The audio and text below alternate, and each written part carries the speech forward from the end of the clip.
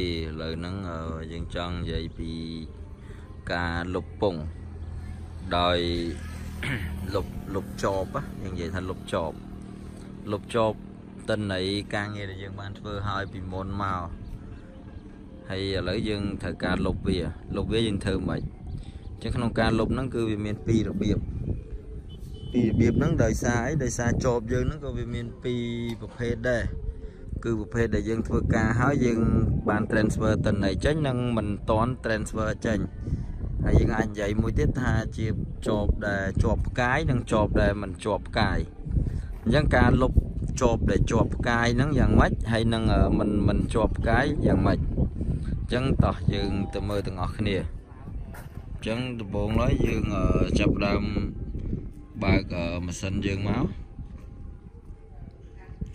បន្ទាប់ពីធ្វើការបើកម៉ាស៊ីនមកម៉ាស៊ីនយើងវានឹងដំណើរការ show នៃ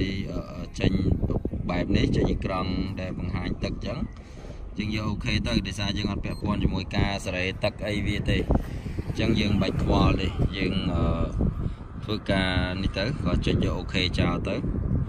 ដើម្បីយើងចូលទៅធ្វើការលើការងារលុបចបអញ្ចឹងដើម្បីលុបបានយើងត្រូវធ្វើម៉េច អញ្ចឹងយើងពេលដែលចេញនៅក្នុង page observation នេះយើងចុចចេញក្រៅមកយើងចុច escape មកដើម្បីឲ្យវាចេញ page ដែលយើងហៅថា show អំពីអឺឈ្មោះម៉ាស៊ីនហើយនិង serial របស់ម៉ាស៊ីនអីហ្នឹងគឺ show អញ្ចឹងហើយ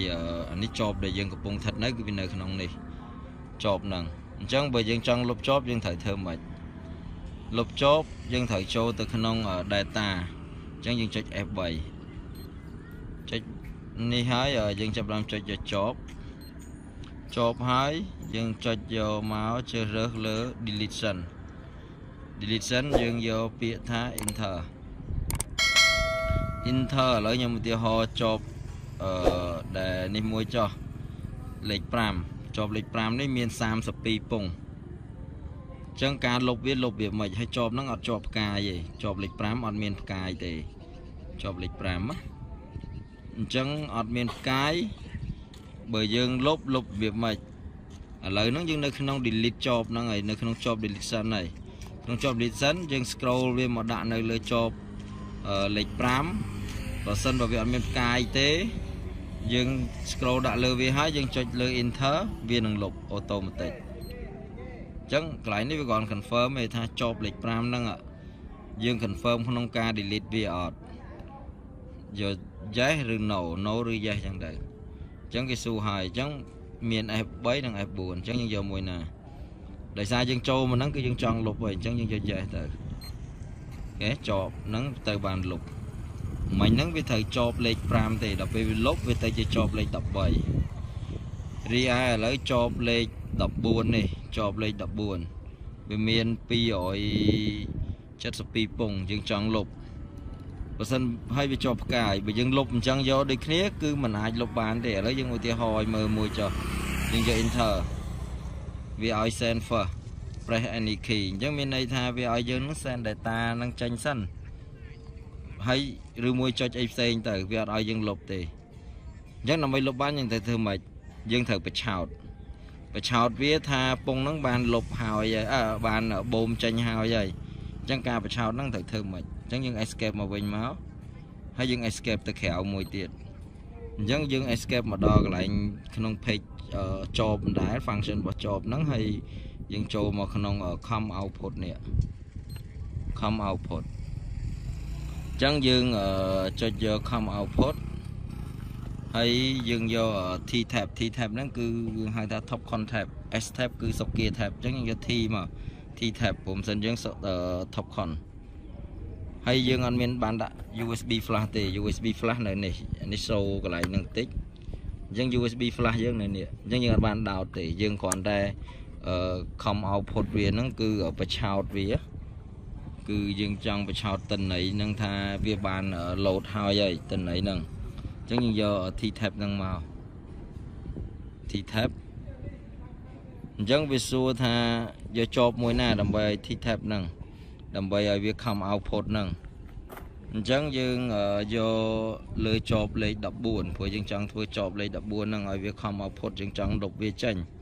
អញ្ចឹងយើងយក enter មួយមកយើង scroll ដាក់ឲ្យចំជាប់14ដែលមានផ្កាយនឹងមកហើយយើងយកពាក្យថា enter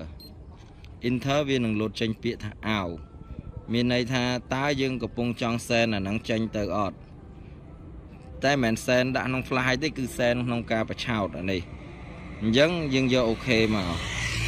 យើងយកអូខេព្រោះយើងចង់ឲ្យវាអោអូខេអញ្ចឹងវាអានេះវាគ្រាន់សួរថា come output ហ្នឹងយក format អី format យើងអឺអឺគឺប្រភេទជា GTS observation GTS ហ្នឹងគឺ global telecom community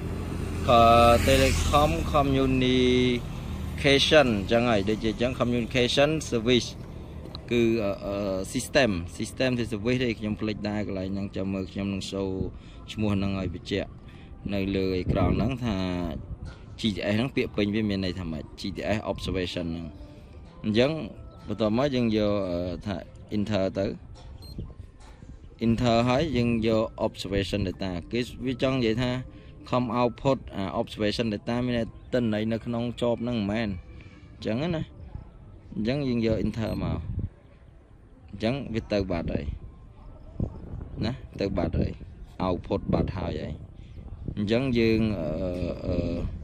អឺនេះមកអូខេវាទៅអញ្ចឹង GTS observation អូខេឥឡូវវាទៅបាត់អស់ហើយមានន័យថាជាប់នឹងយើងបានលុបហើយហើយអញ្ចឹងយើងចង់អឺមិនតន់លុបទេគឺយើងបាន send data ចេញទៅក្រៅហើយហើយ send data ខ្យល់ send ដោយអត់មានប្រើ flash អត់ប្រើអីគឺ send ចេញបាត់អស់ហើយអញ្ចឹងយើង escape មកវិញ escape ទៀតយើងចូលទៅ delete job job deletion ហ្នឹងយើងចូល job deletion យើងយកពាក្យថា enter enter ហើយនេះកន្លែងជាប់លេខ14នេះវាបាត់ផ្កាយហើយ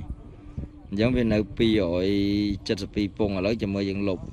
ព្រោះយើងចូលមកជាប់ deletion យើងដាក់ highlight វា scroll វាមកដល់ជាប់14ហ្នឹងមក យើងលុបបានអញ្ចឹងយើងយក enter មកអញ្ចឹងវាគ្រាន់ confirm យើងថាតើយើងលុបវាឬអត់អញ្ចឹងយើង yes មកដើម្បីលុបអញ្ចឹងវាលុបបាត់ហើយគេ